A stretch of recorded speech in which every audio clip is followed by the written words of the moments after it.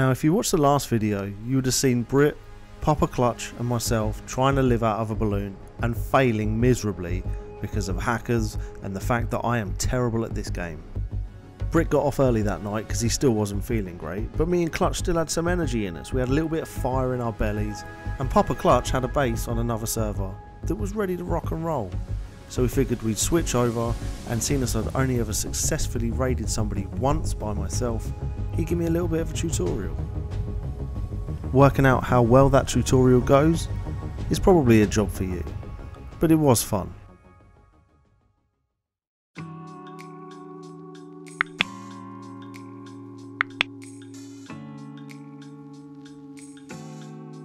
Right, did you spawn downstairs?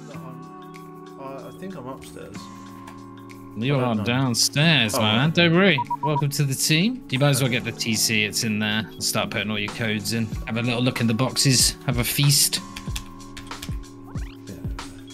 I'm gonna get tooled up and ready for a roam. Uh, I need to just check if we need bullets or anything. I think I'm just gonna take SAR to begin with. Have you had much raiding experience, stuff like that? Not really, man. I mean- For me, it's more um, working out like base layouts and stuff. You know, like which Yeah. which is the best way in and Okay, well, I'll tell you what we can do then, because there'll be a couple of bases round here. I tell you, give me a minute. I'm going to craft as many bean cans as I can, uh, and then we'll see what we're dealing with in terms of boom boom. I'll get all that crafted up, and then we'll have a little scout for a base, and then you can sort of like we'll have a chat about where you think you should raid and stuff. Oh, I'm not perfect, so no, it sounds good to me. And with that, we both got geared up and headed out to look for a base that was worth raiding. what is this? Oh, look at that! Hello. A little wooden Interesting. door on the top as well. Yeah. Well, is it cheaper to go through like the wood, or is it cheaper to go through the soft side stone? Oh, that's a good question. Have you got a jacket on you? Yeah, I do. Because Yeah. I've got one as well. Oh, you did find one, did you? Yeah, I found one. Yeah. Well, I mean, we could uh, we could go grab a tier one if you want, like from the base. Figuring that soft siding through the stone was going to be the easiest way in, Clutch and I did our best to try and work out what the inner layout of the base would be and how many other doors we might find. I'm trying to think because realistically, it's gonna be door, like door, door, and door here. Maybe like this might be the entrance, Yeah. so you might get lucky. Let's get our eco on, son.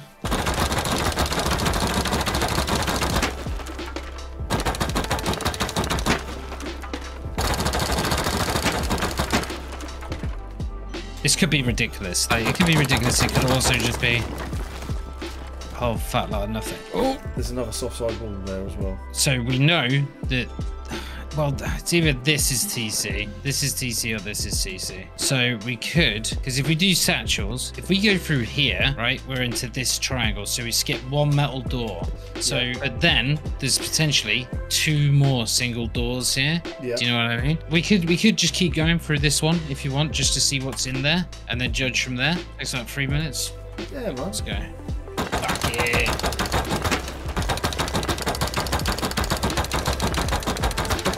Took me. Here we go. This is it. That's a wood door, man. Yeah. That is a wood door. Right. You ever done a machete raid? We'll be through that door in no time at all, man.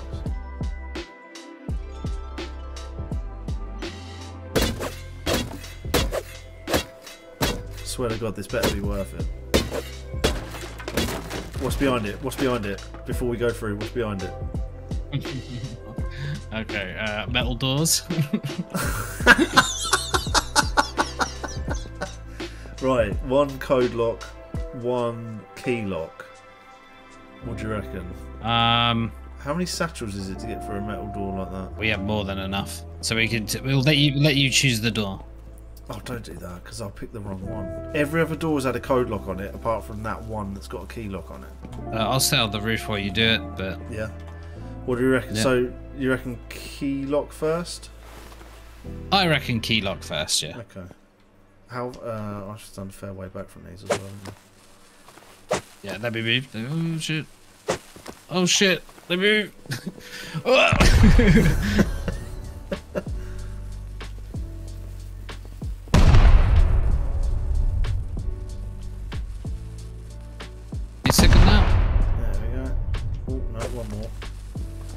Nice.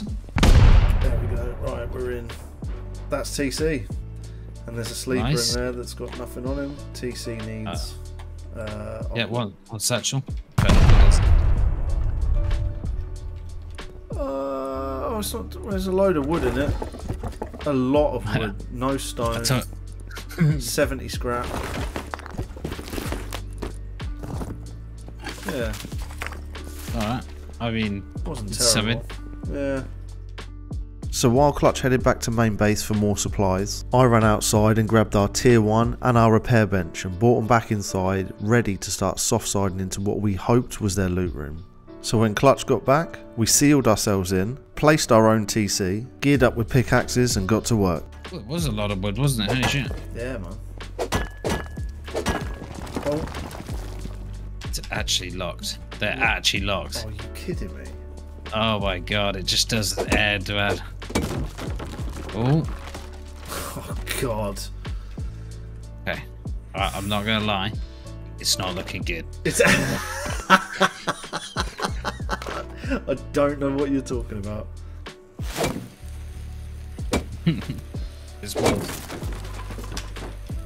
Uh, What even is this box, man? that's a mean, box it's- of nothing, is what it is. right, let's load up and get the fuck out.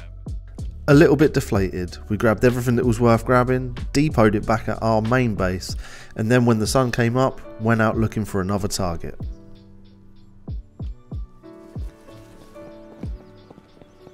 Hello? What the fuck am I even looking at, man? Oh. He's got a fireplace upstairs, though. Guy's a Chad. I mean, I'm a bit confused. So this base down here, Yeah.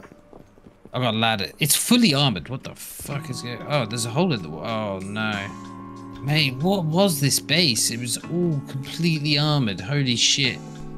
A lot more roaming led us to this thing. Fully armoured, boxes, refineries, and furnaces all over the place. But it did look like someone had managed to raid it first. The question was had the original raiders left anything behind? Yeah, alarm. It's like an alarm inside. Yeah. I can't tell what it is. So it's Oh, you just get so it's Are you dead? that. Yeah. Uh, my body should be right next to you. Uh, that is a turret. Uh, I'm coming back down the hill now. Yeah. Yes. So we had a look around the roof to see if we could get to this turret before it got to us. And of course, this had varying levels of success, but mostly pretty terrible. While I was getting ready to respawn though, Clutch noticed that this base was still listed as having two vending machines on the map. And those vending machines were still stocked. The vending machines are still stocked. So there's 18 Thompsons in one of these vending machines. Of, yeah, and five semis. And then Yeah. in the other one, there is four level three workbenches and one workbench level two. So But ah, you want to get it is an armored door. What I might do is I'm going to come back to base, bring Yeah. you your shit back. Yeah. I'm going to have a little look at the sulfur we got upstairs and how many more potential bean cans we can make. Because let's say if we could get it down, if, if we could make like get it down to the same as like four satchels. So if we can make eight satchels, right, Yeah. and then we can blow it, then that Oh, yeah. not actually that bad to hammer raid Raider metal.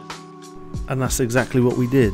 We crafted as much boom as we could out of the resources that we had available and then headed back, hoping to make that one super gigantic play. Is that that one in front of you? Is that what you said was your your neighbour friend? Yeah, I've not even spoke to him, but I respect how fucked up his base looks. So I kind of like we try. We, like I kind of want to let him live because it's it's fucking hideous, man. Like I could live in something like that. Like the wood balcony, second floor. Yeah. Genius, genius. It is pretty cool, isn't it? Right. Okay. So that's up here, and then through here, and then sweet, and then down here. Right now, oh, I want to see if you stand in this corner. Yeah. I don't think I'll be able to. I want to see if I can shove you in. Nah, I think it's way too tight. Right, I'll just start satcheling the door then. Which door are we going for? So this one here, The armoured one that's just there. yeah, I should be able to do that safely from here. I think.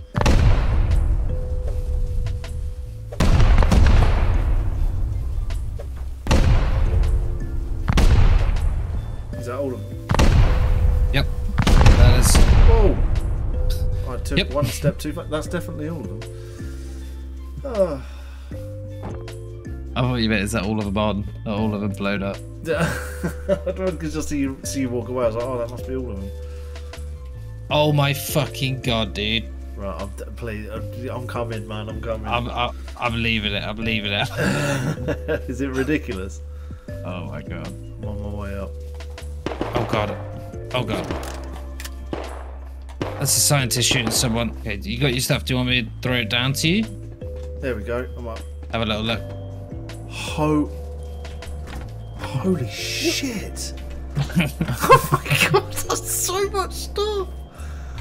Oh my god, right. Um, how are we going to do this? Just, Uh, just I- loot and scoot? Yeah, I need to take tier threes are really important. Yeah. Oh, Rockets are important. Stone not so much. And then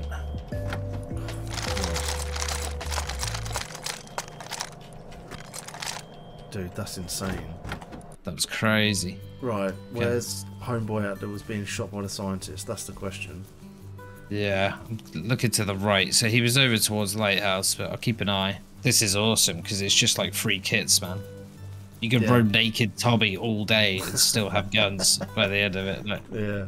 I've never seen I've never seen anything like that. It's kind of crazy. It makes you think what's in the rest of the base, but So, letting our curiosity get the better of us, we depoted everything back at base, and then, under the cover of nighttime, went back to hammer raid through the front doors to see if there was anything else that had been left behind. on base, they're all just like normal doors. So I vote maybe this one because the raiders put it down. Yeah. Fair enough. Now, at this point, I had a few technical issues. I have no idea what I did, but somehow I managed to only record the audio of the hammer raid and none of the video. That being said, as soon as we got through the door, a friend of the base owner turned up and countered us, and we ultimately left with nothing anyway. Here we go. it's a little bit open. See boxes. No, I've gone down into the core. It's actually open to the very core. Nothing there. Uh, a tier three, and that is it. And some Christmas lights. God damn it! Yeah, this thing must have been absolutely juiced. So yeah, I think we picked. Oh shit, dude, dude, go! Uh, it- I'm dead. Oh, thank God there wasn't anything in there though. That guy scared the shit out of me. Yeah, he came in ready, man. Why, did, why is he killing me? Why, Why you this- ca- this oh. one in your friend's base who got raided. Yeah, ain't your friend's base anymore, bro. I know that. So why don't you just help me up and then I can go? Idiot. Idiot. Um. Now, by this point, it was about three o'clock in the morning, and I had zero interest in getting into an argument or a battle with someone as petty as this. But that being said, I did want to know where this guy lived so that if I jumped back on the next day, I could make a target out of him. So I restarted Rust, logged back in, and went on the hunt. And lo and behold, he was living in the swamp next door. And there he was, just stood by his front door waiting for someone to run past. I know where he lives now, though. I know where he lives.